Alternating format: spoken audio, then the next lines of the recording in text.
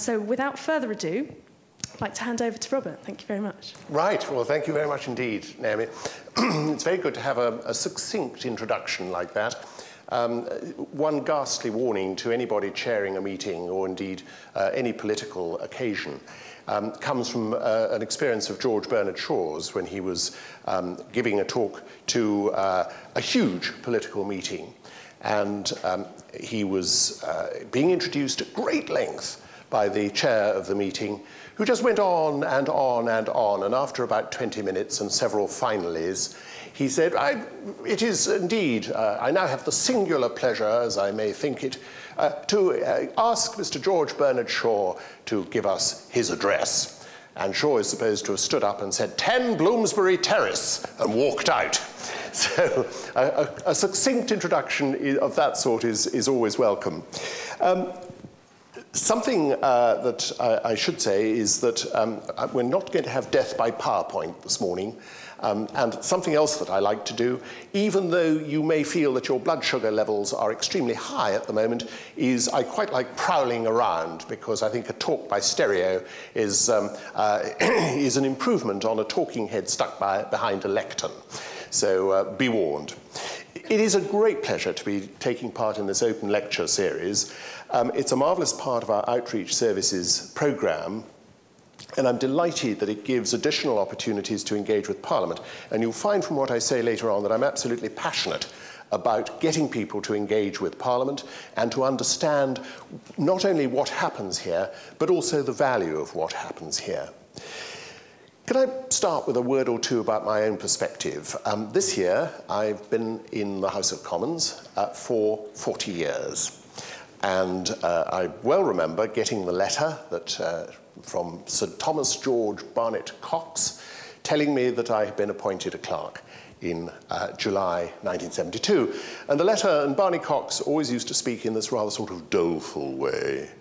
And he, um, he was actually appointed in 1930, and he'd been appointed as a junior clerk by the clerk of the House, who himself had been appointed under Gladstone's last administration. So you'll see there are a certain amount of uh, uh, historical continuity in this place, at least.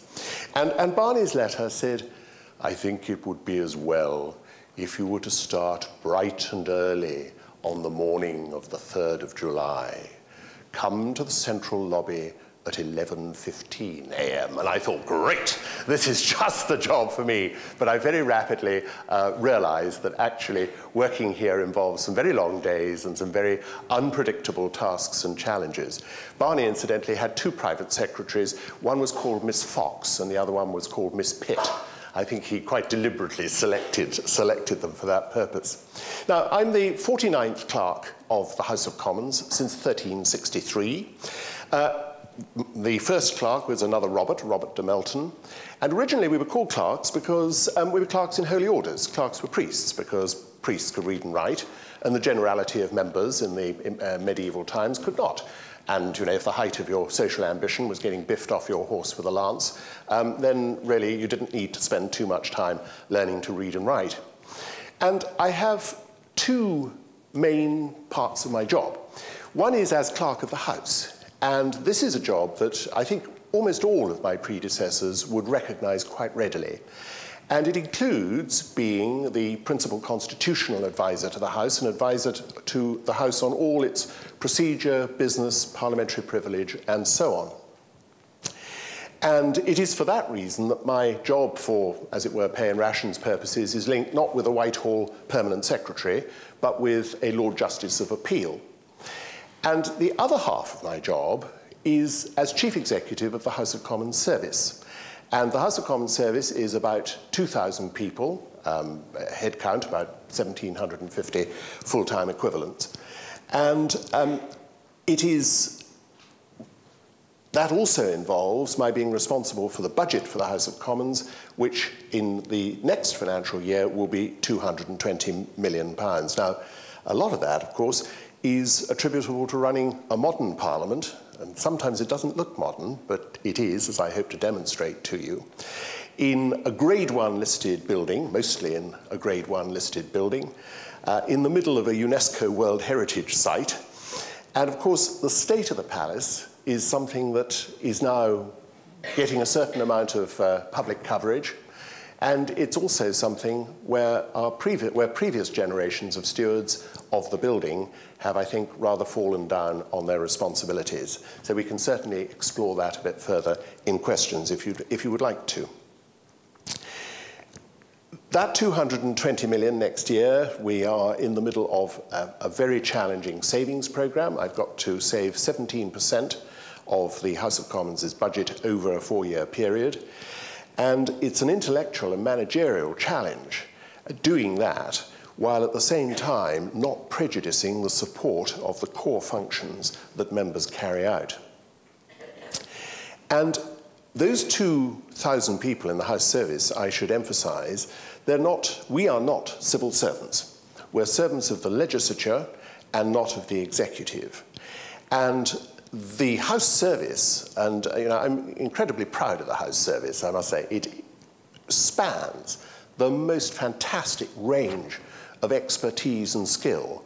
Um, as part of our uh, organization, I have people who are experts in regilding Pugin woodwork.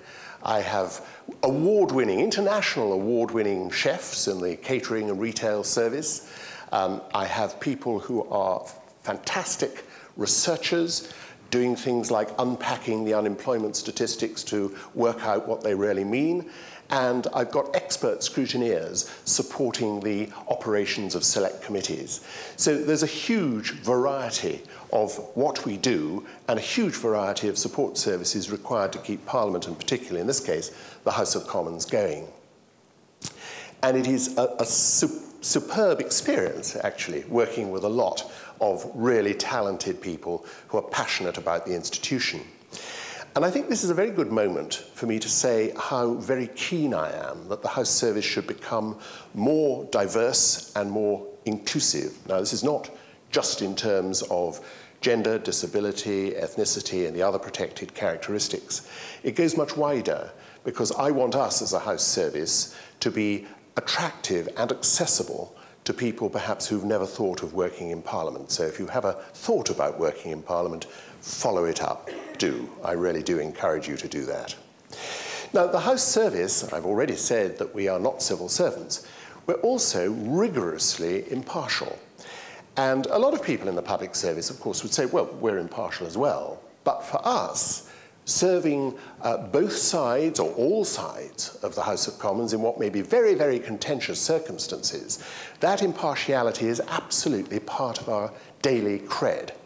Now, of course, if you are, just to take that example, if you are gilding Pugin woodwork, regilding Pugin woodwork, or if you are um, preparing one of the one and a half million meals that we serve every financial year to the uh, almost the population of a small town who find themselves here, members, staff, staff of the House, and all of those who, whose business brings them to Westminster, if you're doing those things, then being politically impartial is not a major part of your daily concern.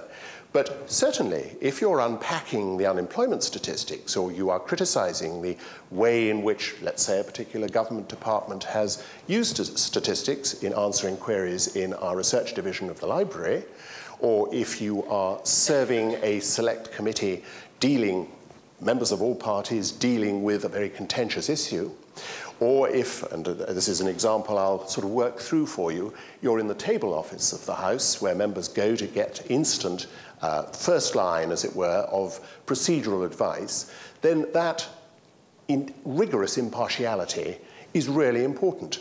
And I'll give you, uh, I'll give you an example. Members may come into the table office and say, right, we want to do this. We want to, let's say, um, pull an ambush on the government tomorrow night. And you sit down with them and you think, uh, think through what their plan of campaign is, and you make some technical suggestions, and perhaps you do this rather than that, and that might be more, that might be more effective. And off they go, chalkling at this marvelous plan that you've helped them cook up. And then five minutes later, uh, let's say a government whip comes in, and she or he says, We've just had this ghastly thought. What would happen if? And then you suddenly find yourself sitting down with the other side, actually trying to sabotage the plan that you were cooking up a few minutes before. And if you wonder why in these circumstances we're not all raving schizophrenics, the answer is that we are, in some ways, I think, a little bit like barristers. We're doing the best for our clients, although in, that, in those circumstances, we have rather a rapid turnover of clients. Um, now, coming back to my roles, I'm, I'm corporate officer of the House, and that means that the House's property and leases and so on are all held in my name.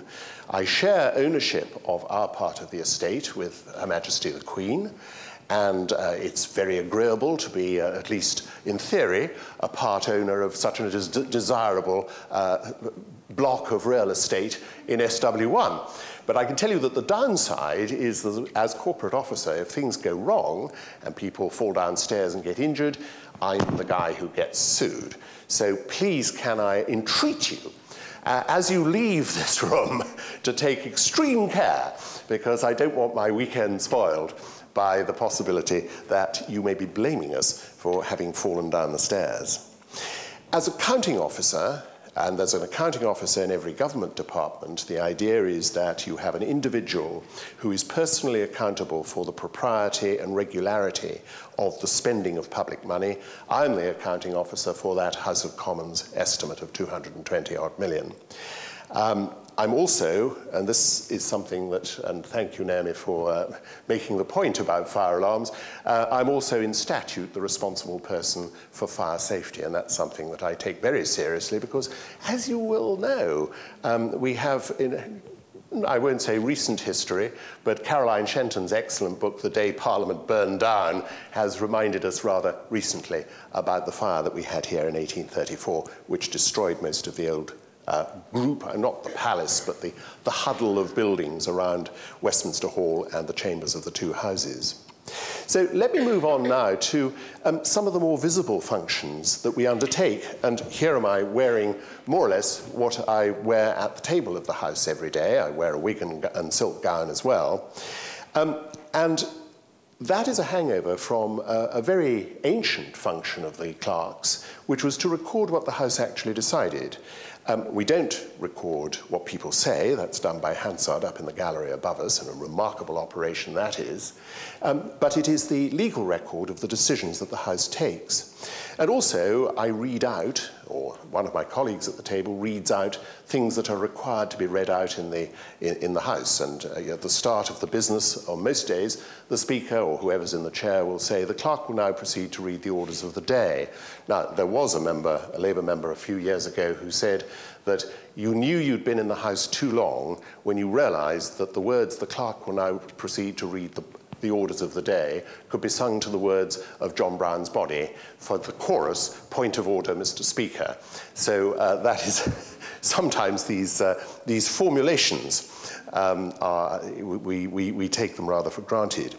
But also, when you look at us and uh, when you look on the, the television, you see the table, and at question time, the three of us with wigs on sitting in front of the speaker, you may wonder what we're doing. Um, and, and sometimes people say to me, well, you know, you're just trying to work out who's going to win the 2.30 at Sandown, or something like that. But actually, it can be very, very busy indeed because you're not only advising the chair and unforeseen things, points of order may come up. You've got half an ear to whether there's perhaps a, a, a member is uh, getting into an area which is sub judice, something to be decided by the courts, and we have a, as it were, a non-aggression pact with the courts so that we don't deal with things which are being decided by a court, and in the same way, a court cannot uh, take account of what, what is said in proceedings in Parliament. Um, but also advising the whips on both sides about the handling of the business. And any member can come to us at the table and ask a question, and many of them do. Not all about Parliament. I mean, I'm frequently asked about uh, the source of a quotation, or um, we had something the other day was um, what was the um, what was the land area of Mexico. Now, that's not something that um, I think we all have at our disposal uh, instantly, but I do say I, I do have the advantage of having an iPad at the table, so I was actually able to look it up quite quickly. Uh, and very often I feel that our job is, it sounds an odd thing to say, but it's a bit like being an airline pilot. And when you're sitting at the table and you've got some not very contentious business like you know, manufacturing industry in the West Midlands, I mean, there is some contention about that perhaps, but the, the house can be quite calm. And that's a bit like being at 35,000 feet with the automatic pilot on and a cup of coffee in your hand. But if the House, let's say, is doing Lord's amendments to a big bill and there are 700 Lord's amendments and you've got motions to agree and motions to disagree and amendments in lieu and amendments to Lord's amendments and amendments to words restored to the bill, then you may be the only person in the room who really knows what's meant to happen next. And that is rather like um, anyone who remembers the old Hong Kong airport where you came down in the rain between the tenement buildings and the washing, uh, washing lines getting higher and higher as you sank lower and lower towards the airfield, and you feel that you're really earning your money then. And we do try, of course, to be a little bit more helpful than one of my learned predecessors, Sir Denis Le Marchant, in uh, uh, in Victorian times, where the speaker of the day could see that there was disaster approaching, and he leaned forward and he said, Sir Denis, Sir Denis, what do I do? And uh, the clerk of the house got up, sort of tipped his wig on his head like that, gathered his books, uh, shrugged his gown around his shoulders, and went and stood beside the chair. And the speaker obviously thought, right, this is it. You know, I got the get out of jail card. And Sir Denis Le Marchant said, I advise you, sir, to be extremely cautious and then disappeared behind the chair. so as I say, we, we, are, we, we try to be a lot more helpful than that. And what I thought I'd do now is to explore some of the things that make uh, the House of Commons the way it is. And the first is, the first thing that I draw your attention to is just the building itself, this fantastic Gothic wedding cake fantasy on the, on the banks of the Thames. Now, of course, when Barry designed it, he designed a Victorian parliament, and it was all the things that you expected in mid-Victorian times. And so, for example, um, if a member wanted to look something up, well, he did exactly what he would do in his townhouse or his country house, perhaps, and it would be a he, it would always be a he. Um, and he'd go and do that research himself. Uh, if he wanted to write a letter, he might keep a copy in a letter book, but basically he'd just write a letter in longhand in the library. So it, we needed the debating chambers at each end, and we needed the, the dining rooms, which have always been, uh, food and drink has always been important to uh, parliamentary life, but nevertheless, not much more was required. And now running a modern parliament with that, and I gave you a, a, bit of a clue to the huge range of what goes on here, and I'll talk a bit more later on about the different types of activity. Um, we are doing all sorts of things to try and make the very best of the space we've got. Now, when you're on the principal floor of the House of Commons and you're perhaps looking, you're going through the chambers or you're looking in the central lobby, it all seems wonderfully spacious and calm. But go down and go up, you find it's absolutely a rabbit warren of rooms that we're trying to make the best of and trying to make the most of the space resources that we have. Now, of course, Portcullis House is, where we are now, is a fantastic addition to the parliamentary estate, and particularly the committee rooms on this floor have made a huge difference to, to us and to the space and accessibility to uh, select committee proceedings. But it does underline something, which is a, it's a very interesting piece of applied psychology in a way. Because if you can just sort of imagine a select committee sitting in one of the committee rooms over in the palace, and there they are with leather chairs and old oil paintings on the wall and linen fold paneling and all the rest, then whatever's going on in the committee, it seems somehow a bit sort of old-fashioned and a bit fuddy-duddy. Now, you take exactly the same committee and the same members and the same witnesses, and you put them in one of the committee rooms over here with the light-colored birch furniture and the uh, high-energy tapestries and uh, um, uh, hangings on the walls, and the feel is totally different. And it's quite an interesting sort of human emotion in a way because we do judge things so much by externals. And one of the things I would advise you about, I think, is when you're looking at Parliament, when you're looking at parliamentary proceedings, don't get led astray by just the surroundings. It's much more important to have a real idea and a real feel for what is going on. I think another theme, inevitably, is going to be the old and the new. I mean, you can't work in a building or a group of buildings which, in one form or another, has been here for a thousand years without constantly feeling that history is at your elbow. Um, now, I actually like our formal address and a certain amount of ceremony because I think it gives a dignified, firm framework to the rough and tumble of politics that goes on in between. And constantly, the, the old lives with the new. Uh, as Clerk of the House, if a bill goes from the House of Commons to the House of Lords, I write on it, and in Norman French, can you credit it? But nevertheless, that's what we've been doing for hundreds of years, so we're not stopping doing it now because it's not really an important thing to, to need to be abolished. I write, baillé aux Seigneurs, let it be sent to the House of Lords. And then I, or one of my colleagues, takes the bill, actually physically, walks down in a certain amount of dignified state, to, from the House of Commons through the central lobby into the House of Lords, where we meet our House of, one of our House of Lords counterparts. We bow, hand the bill over, and then come back. But at the same time, the text of that bill is on the shared drive between the two public bill offices using some of the most advanced text handling software in the world. So again, the old lives with the new. And there are some really, uh, I think they're quite charming survivals. And again, you know, they don't matter that much. They don't get in our way. But when a, uh, when a member presents a 10-minute rule bill, for example, uh, she or he will bow at the bar, bow halfway up the chamber, and bow at the table. And that middle bow is there because in the old chamber of the House of Commons, there was a great chandelier halfway down the chamber where members bowed when they did exactly the same thing. Now, that, that building was destroyed in 1834, but when we built a new chamber, members, they just carried on doing it. It was a sort of visual tradition. As, as people very often do. And the other thing is when people bow, when members bow when they come into the House, uh, a lot of people thinking that think they're bowing to the speaker and the speaker's chair. They're not. That's another amazing survival because what they originally did was they bowed to the altar in St. Stephen's Chapel where the house first sat in 1547.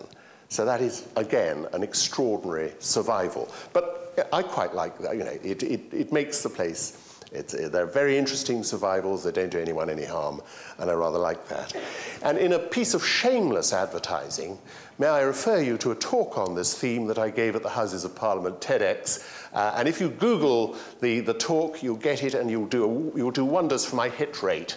So uh, may I encourage you to do that, and I hope you find that, uh, that uh, amusing and entertaining. I've often asked about the changes that I've seen in 40 years in this place. And I think there are really two, and they're closely related. One is just the increase in member staff. When I came here, there, I think there were 20 or 25 members researchers in total. We now have 1,760, I think is the latest, not all here in Westminster, but also in, in constituencies. And that increase has been part of a shift, I think, uh, a, a really quite a uh, tectonic shift from members having their principal or only focus at Westminster and the sort of demands that they now face from their constituents, the sort of expectations that constituents have, quite rightly, of members of parliament. And of course, in order to deliver those services to their constituents, members do need that support, that sort of support that is provided by their staff. And one of the things that I have been doing, and have, I've got the members of my board of management to do, and they're under firm instructions, uh, is to visit constituencies, see members, see the other half of what members do, because if we do that, then I think we're in a much better position to uh, help them do the other half of their job here at Westminster. But that pull of the constituency is incredibly powerful, and uh, a member can quite easily be working, unless with some pretty good time management, uh, a member could easily be doing 24-7 um, every day of the, uh, every week of the year. Um, people often say to me, members of parliament have, have little experience of real life. And I think my response to that would be well, you should see constituency surgeries. You should see the victims of domestic violence, the people whose lives have been made unbearable by the neighbours from hell, the homeless, the hopeless. Um, an MP is often the only way that someone who doesn't know how to access justice or can't afford justice can actually get equity from society.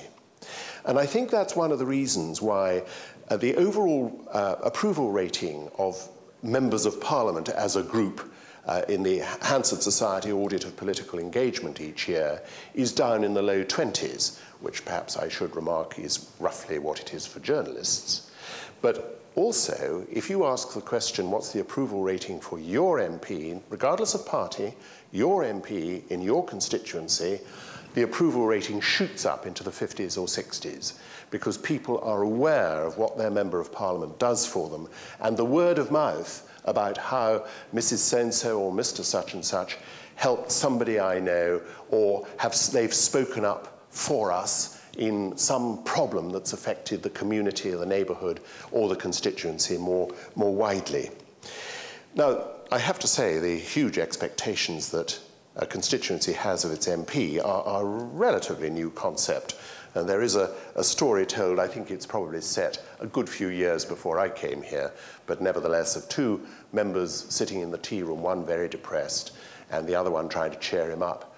And the uh, upper says, Well, what's, what's the trouble, old man? You know, what, what, why are you depressed? And the first one says, Well, I've got to go to the constituency tomorrow. And uh, the chairer upper says, Well, it's not a problem, is it? I mean, you'll be back here on Thursday. What's so? No, you don't understand, says the other. I'll have to go there next year as well.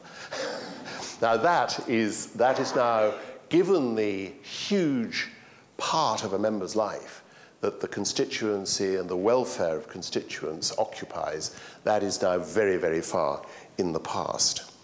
Um, I think a little longer ago you could take rather more risks, and this is a very favourite one of mine.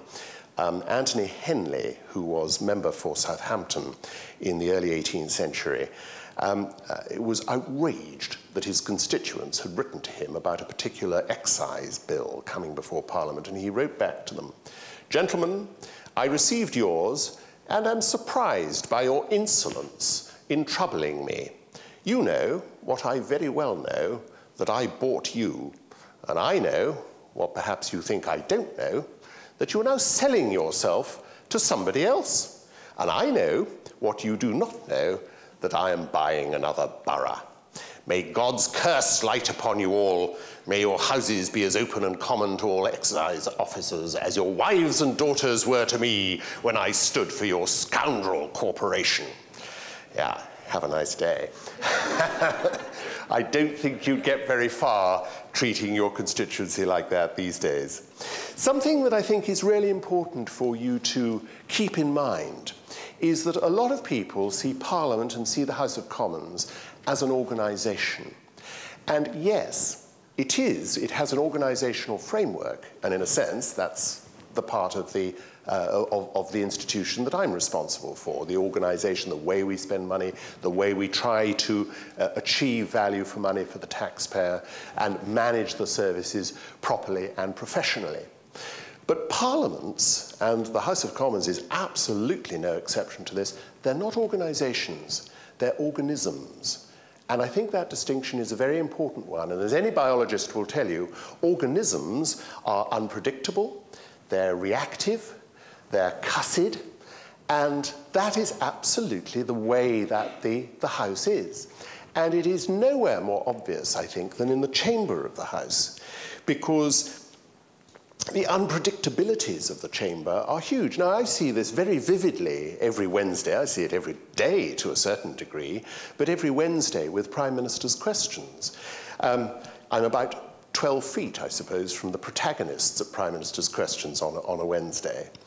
Um, and I think that the chamber, more generally, I think it's more relevant and more topical than it has been for years. Now, part of that, I think, is, is about coalition politics, the huge change that we had in some of the assumptions and some of the dispositions between the 2005 Parliament and the 2010 Parliament.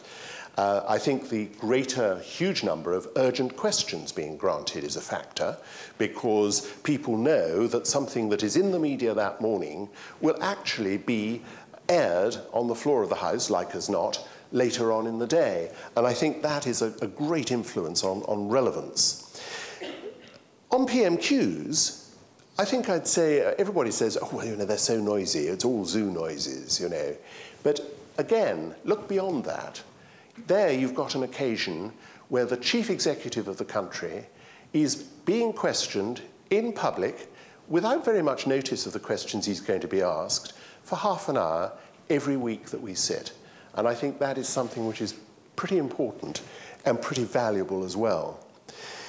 And one of the things, too, that uh, contributes to this sort of organic business of the chamber is how small it is.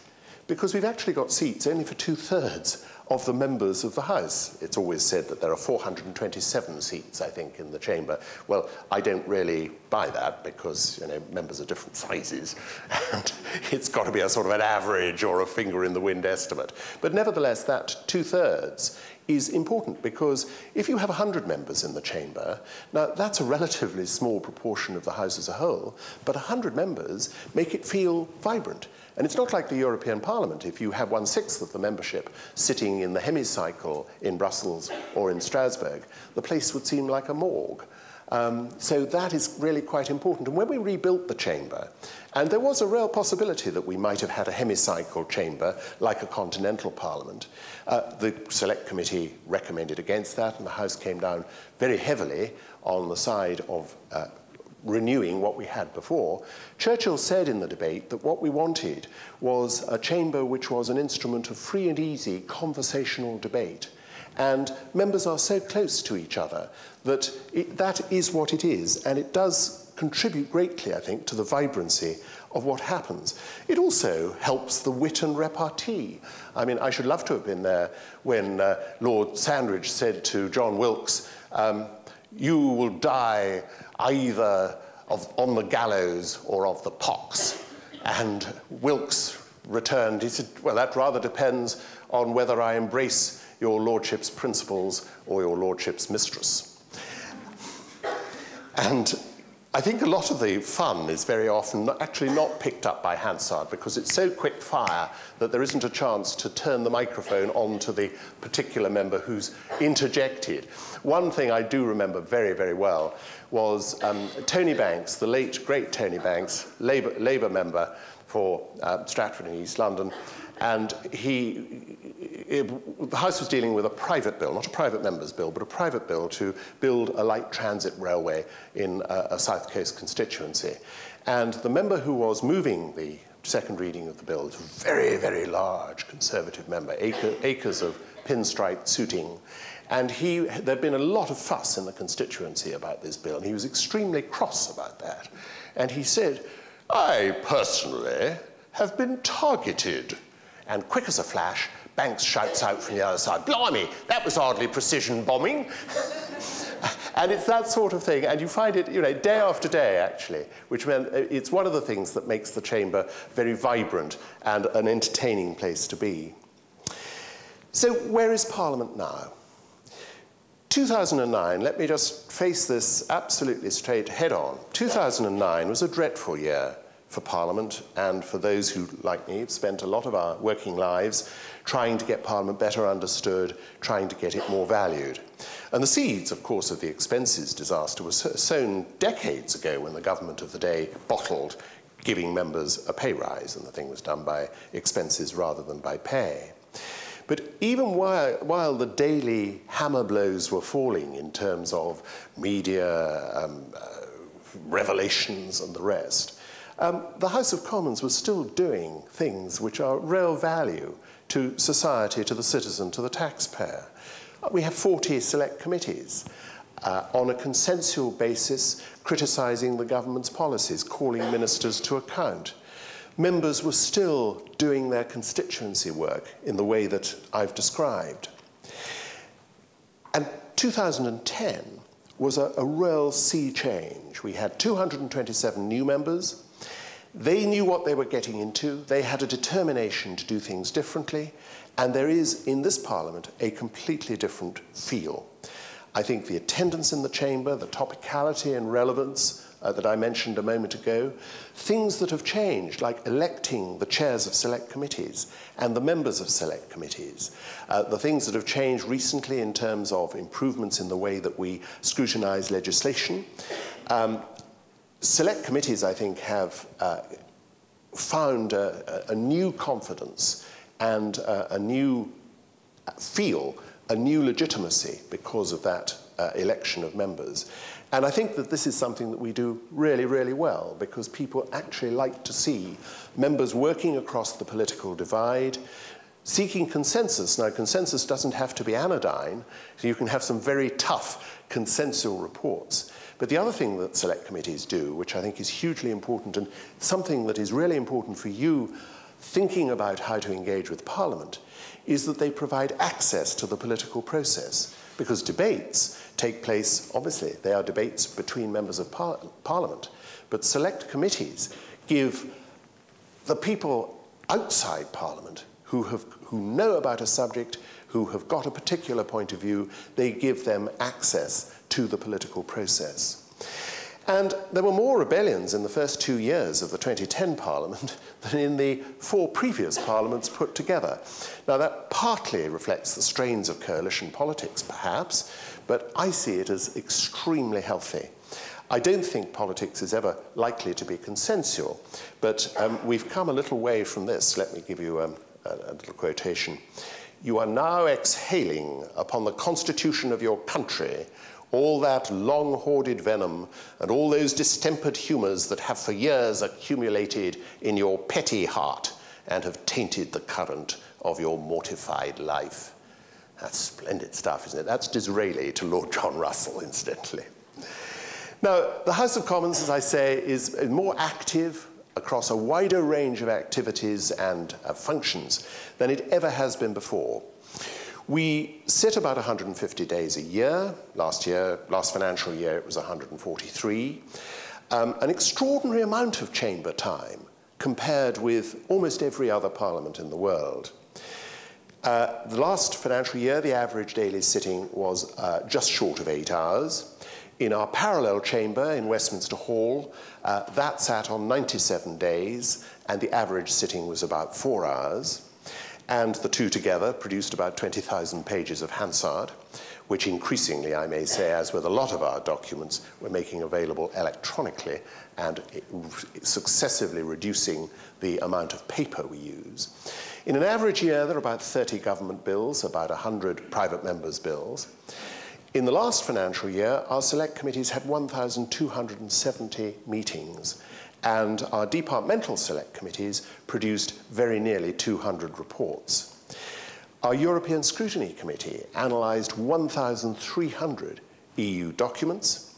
There were 50,000 written answers to parliamentary questions, and our library researchers dealt with 30,000 research inquiries from members.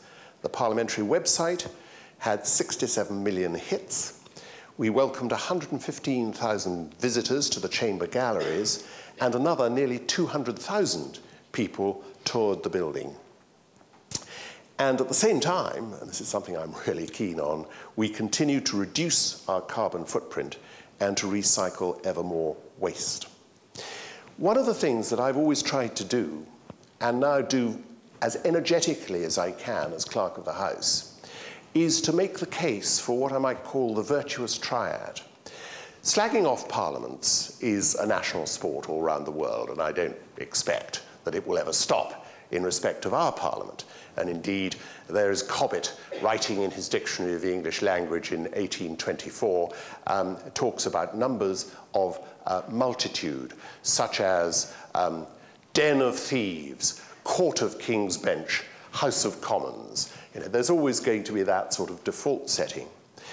But it seems to me that if you can get people to understand the institution, it is then a natural human reaction for them to value it. If you understand something, you are then prepared and ready to value it.